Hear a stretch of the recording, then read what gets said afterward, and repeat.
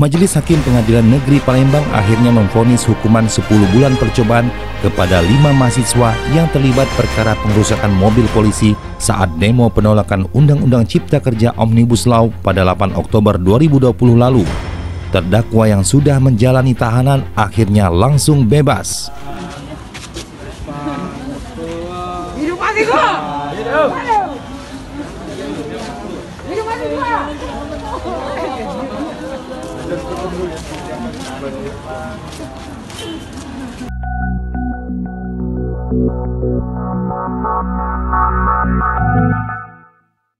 Majelis Hakim Pengadilan Negeri Kelas 1A Palembang menjatuhkan vonis 10 bulan percobaan kepada lima orang mahasiswa peserta unjuk rasa Undang-Undang Omnibus Law Cipta Kerja pada 8 Oktober 2020 di kota Palembang karena dinilai terbukti berbuat anarkis.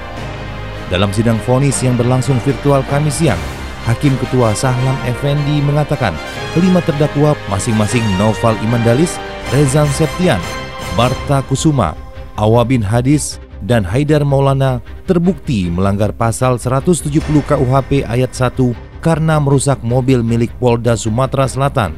Namun hakim menilai para terdakwa tidak perlu menjalani masa tahanan. Hakim memerintahkan kepada jaksa penuntut umum agar segera mengeluarkan kelima terdakwa dari rumah tahanan. Kelima terdakwa tidak perlu menjalani masa hukuman 10 bulan penjara tersebut. Namun jika para terdakwa melakukan tindakan pidana apa pun selama satu tahun enam bulan setelah inkrah, maka para terdakwa otomatis langsung menjalani pidana 10 bulan penjara. Vonis tersebut bertolak belakang dengan tuntutan JPU Kejati Sumsel yang menuntut kelima terdakwa divonis 2 tahun penjara.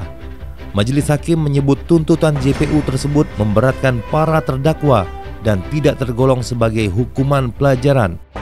Selain itu, kelimanya tidak pernah menjalani hukuman pidana sebelumnya sehingga menjadi hal yang meringankan vonis.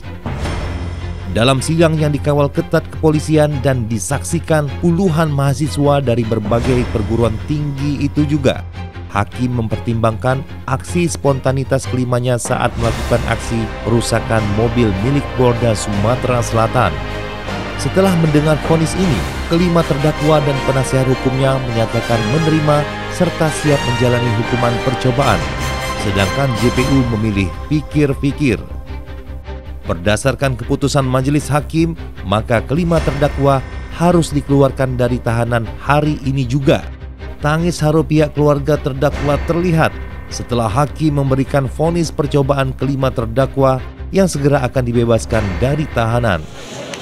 Bahwa memang terhadap terdakwa Reza maupun yang terdakwa lainnya terbukti bersalah melakukan tindak pidana yang didakwakan dengan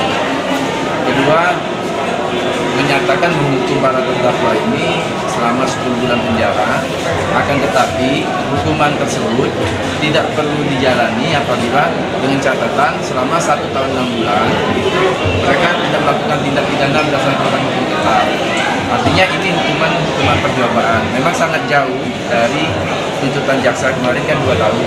Nah, tapi ini kan hukumannya percobaan makanya tadi terdakwa menjadi Sebelumnya penuh gelombang penolakan Undang-Undang Ciptaker di Kota Palembang berlangsung selama 7 sampai dengan 9 Oktober 2020 di kawasan Simpang 5 DPRD Sumatera Selatan. Polisi mengamankan 500 orang lebih dan lima di antaranya ditetapkan sebagai tersangka usai kericuhan pada 8 Oktober. Dari Palembang, Sumatera Selatan, reporter Andy Ruskan, kameramen Muhammad Rian, Palembang Baru TV mengabarkan.